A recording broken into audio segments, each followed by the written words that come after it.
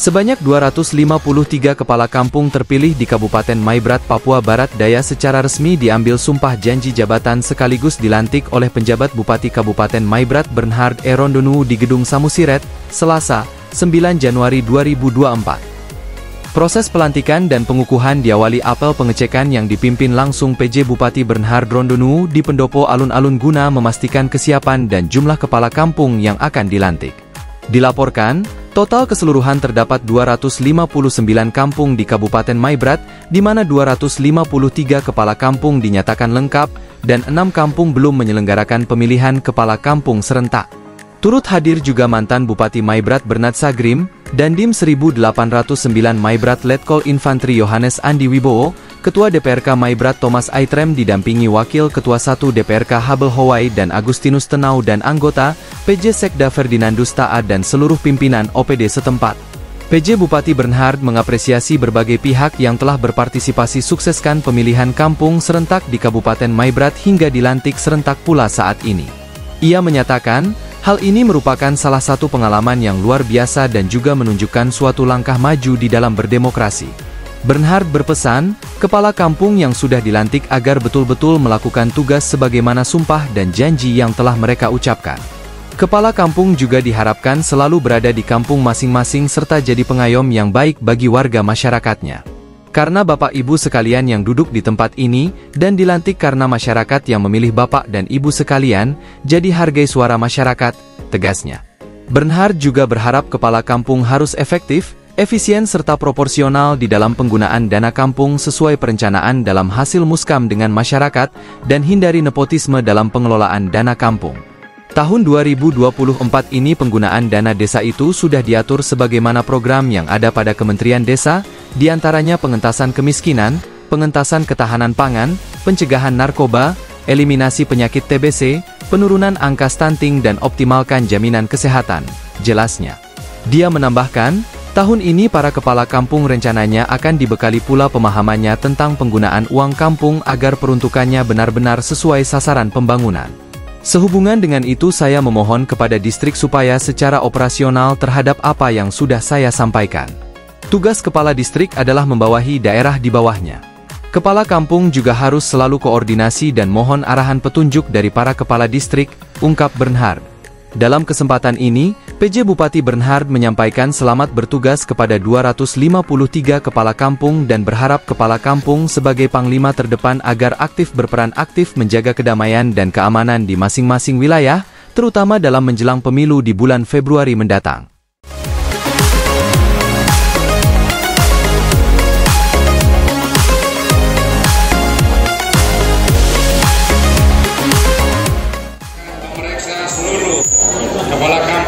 Dilantik saya didampingi oleh kakak saya.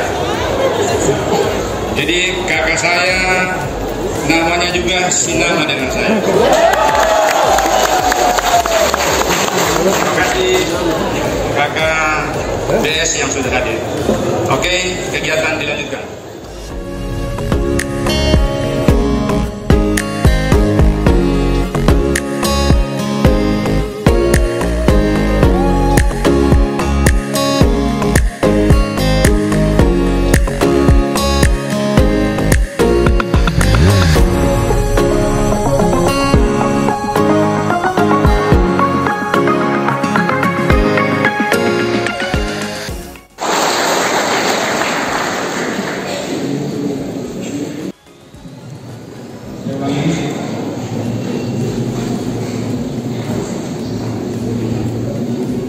Sebelum saya mengambil sumpah janji, saya ingin bertanya, apakah saudara bersedia diambil sumpah janji?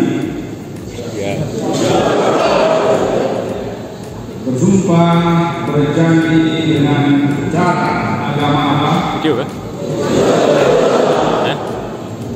Selanjutnya saya perlu memperingatkan saudara bahwa sumpah janji yang akan saudara ucapkan ini adalah mengandung tanggung jawab.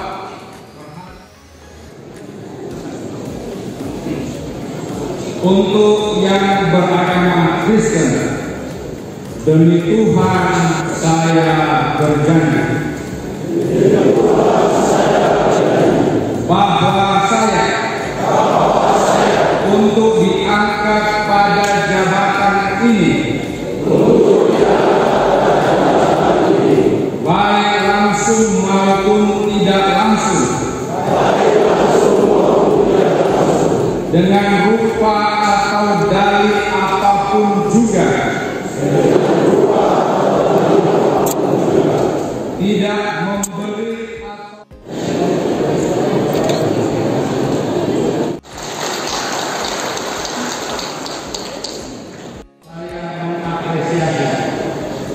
Tentunya mulai dari kepala distrik di seluruh wilayah kasih. Dan yang lebih penting yang selama dengan saya Pak PJ Kepala Kampung Bapak dan Ibu luar biasa. PJ Kepala Kampung luar biasa. Terima kasih Bapak dan Ibu harus mencatatkan dalam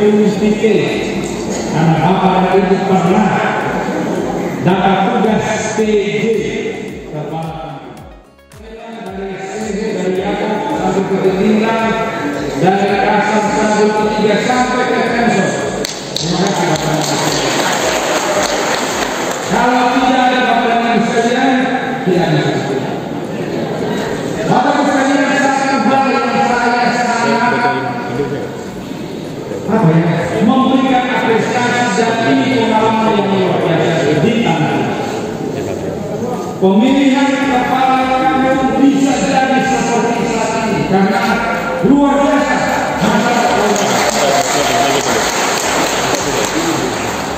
Persiapannya tidak banyak tapi kalau kita lihat di Facebook Ragamnya luar biasa. Dari bawah sampai ke atas luar biasa.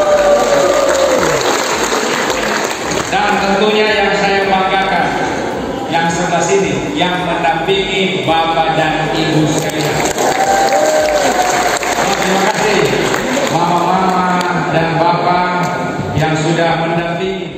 yang sudah mewujudkan mulai dari proses pelaksanaan sampai pada saat pelantikan kepala kampung bisa berjalan dengan lancar walaupun masih tersisa kalau tidak keliru ada enam kampung yang belum melaksanakan lanjutan. Nah oleh karena itu sekali lagi kami mengucapkan banyak terima kasih.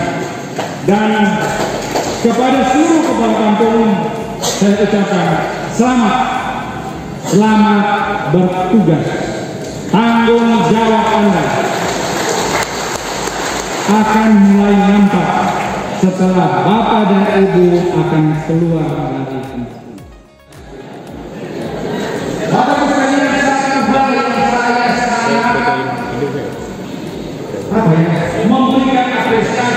ini pengalaman yang luar biasa pemilihan kepala kampung bisa jadi seperti saat ini karena luar biasa